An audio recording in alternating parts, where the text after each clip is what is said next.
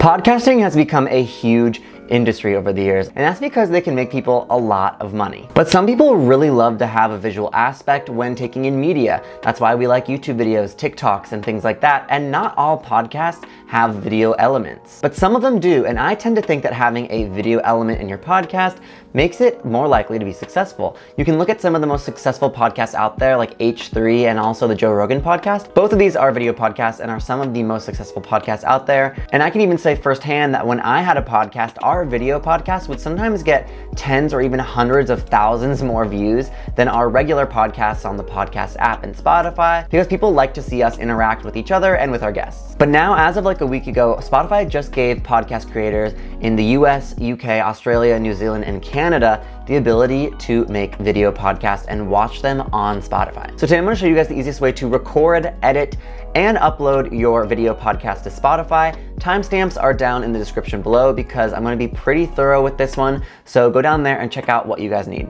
All right, let's get into it. Okay, so obviously having a video component to your podcast is going to be oftentimes a lot of extra work. When you're doing a regular podcast, simple audio are really small files. If you do have a video component though, you are going to have much larger files to deal with. You might have different camera angles for each person on set, like you, your co-host, your guest, or even others. So I'm gonna show you guys my favorite and I think the easiest way to record podcasts with video so that you don't have to be dealing with a ton of different files later. So my favorite thing to use is called StreamYard. This is usually used for live streaming and it's a program that can help you live stream, but you can also record right onto it and then download the file. So what you're gonna wanna do is just log into StreamYard. You can use the free version and then if you like it, you might want to subscribe to the paid version depending on your needs. Then you can go ahead and create a broadcast and then make a new broadcast. And then you can put where you want to broadcast to. If you don't want to live stream anywhere, you'll just click the record only button. So then you can create this broadcast. Then you can add your name and you can also add in a higher definition camera if you want to use a different camera or different audio source. We tend to do this. We put our DSLRs, which I'm filming on right now,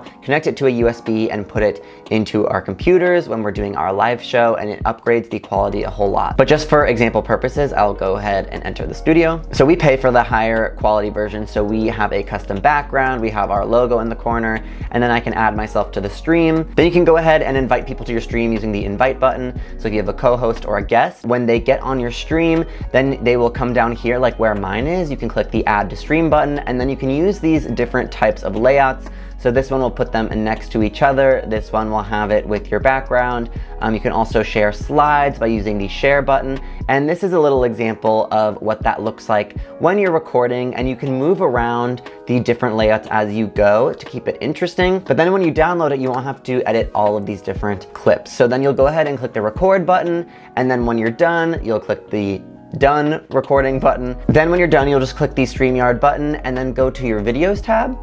And then you can see the things that you just recorded. So this was our recent one that we recorded. And then you can just go ahead and download the recording. And then you'll want to download the video recording, of course. Okay, so now that you have your video files, you may want to edit out things like pauses, or if you stumbled over your words, or if you had to repeat something several times because you kept messing up, or just said something that you didn't mean. Maybe you want to add in jingles, sound effects, or maybe you want to add in sponsorships that you got after the fact.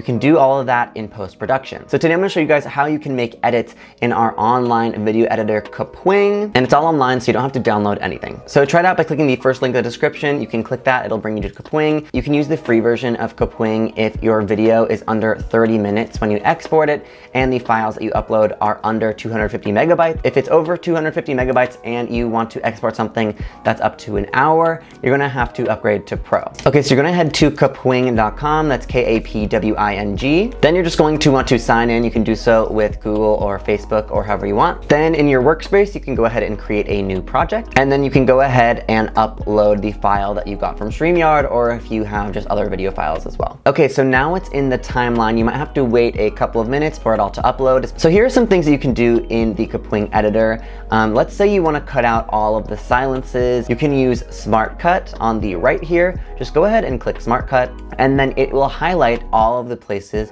where there are silences in your videos. You can also use the sensitivity slider on the left to decide how sensitive you want this to pick up the silences. And then you can click play and listen to the new recording that it would be if you click the done button. If it's highlighting something that you don't want to cut out, you can go ahead and zoom in and then you can click the red bar that it plans to cut out and that will no longer be cut out to cut it out again, you can click it again. Then when you're happy with that, you can click done. Other note is that if you wanna just split a particular part, maybe you said something wrong, maybe you repeated yourself, you can just go in, find the place that you want to cut, click the split button, or use the S key on your keyboard, click split, find the other place that you wanna split, click split, and then you can just delete that portion.